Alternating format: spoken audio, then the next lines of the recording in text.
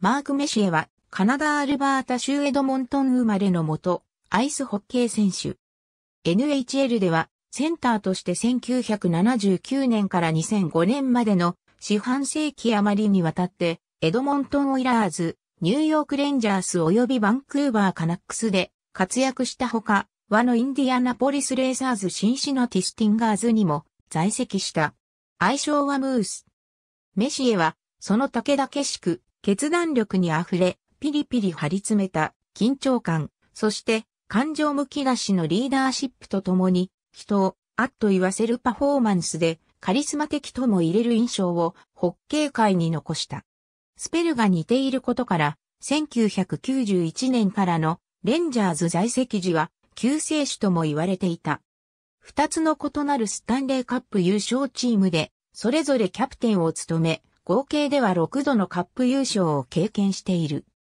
1978年、17歳のメシエは、和のインディアナポリスレーサーズと5試合のトライアウト契約を結ぶが、5試合で得点を上げることができず、経営難のレーサーズは閉鎖直前にメシエを放出。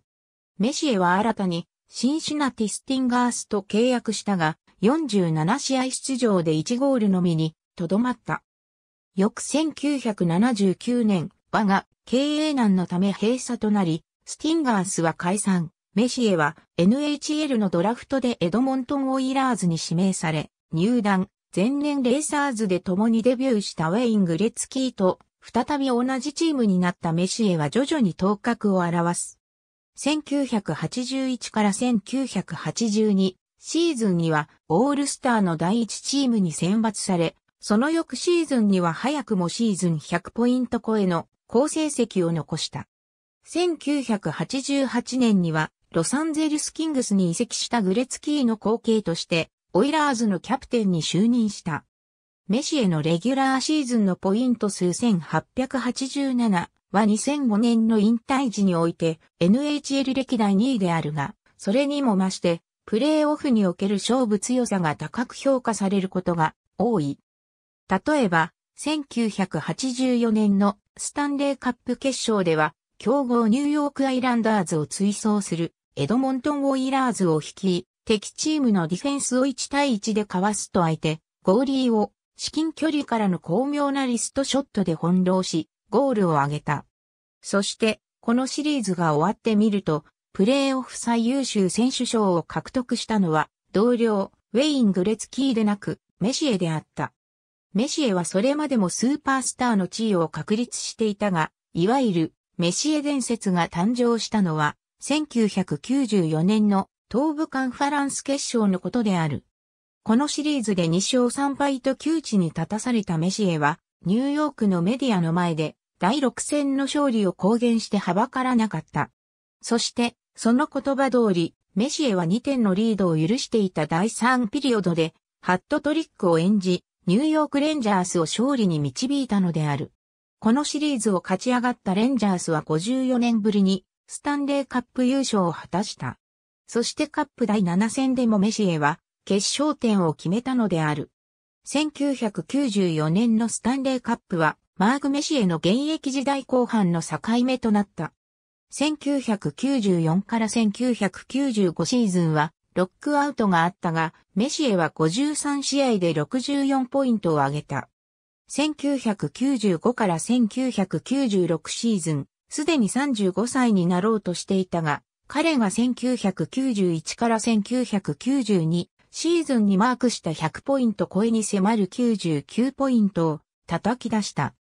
その翌シーズンでも84ポイントを上げて、ムース健在を印象づけたメシエは、36歳になっていたにもかかわらずバンクーバーカナックスから5年間で3000万ドルとも伝えられる破格の条件のオファーを受け、フリーエージェントで入団を決めた。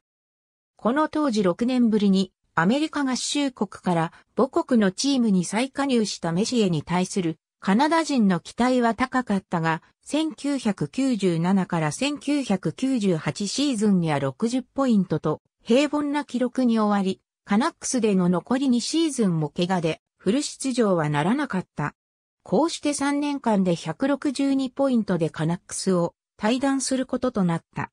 メシエはすでに選手として十分な名声をものにしていたが、再びニューヨークに戻ってレンジャース復帰を果たすこととなる。2000から2001シーズン、40歳で67ポイントをマークしたが、これはカナックス時代のどの成績よりも優れている。しかし、翌シーズンには約半分の試合に欠場し23ポイントに終わった。また、その翌年も40ポイントに終わっている。2003から2004シーズンは大方のファンがメシエ最後の年となると言われた。2003年11月11日のダラススターズ戦でメシエは生涯ポイント数でゴーディハウを抜き去る2ポイントを挙げた。そしてその11日後、アルバータ州エドモントンで行われたヘリテージクラシックでメシエは唯一の現役選手として出場した。同シーズンのマディソンスクエアガーデン最終戦では、メシエがパックを持つたびに喝采を浴び、試合終了後リンクを周回しながら、スタンドに挨拶を送ると、スタンディングオベーションを受けた。43歳になろうとしていたメシエについて、大方のメディアは、引退を予測する旨を報じた。そして、2004年から2005年の NHL ロックアウトによる NHL シーズンの全試合中止の後、2005年9月12日にメシエの正式な引退が発表された。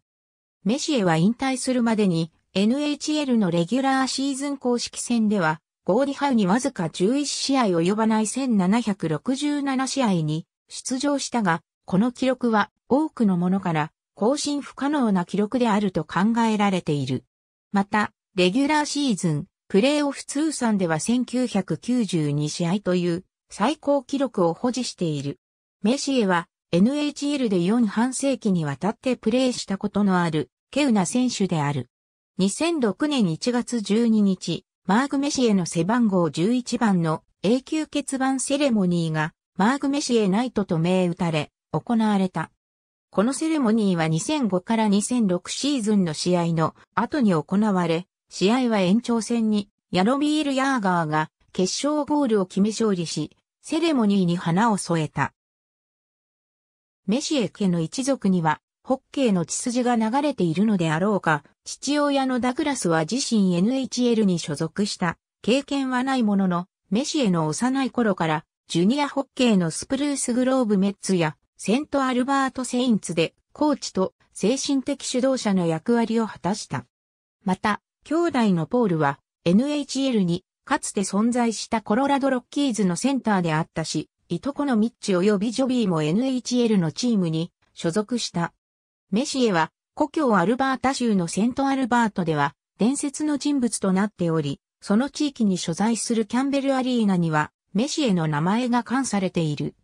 2007年2月26日にエドモントンよりメシエの故郷セントアルバートへと続くセントアルバートトレールの一部をマークメシエトレールとすることが発表された。2007年2月27日にオイラーズの本拠地レクソールプレイスにて永久欠番授与式が執り行われた。彼の名は彼のつけていた11番と共にレクソールプレイス、そして2016年からの本拠地ロジャーズプレイスに永久に飾られることとなった。ありがとうございます。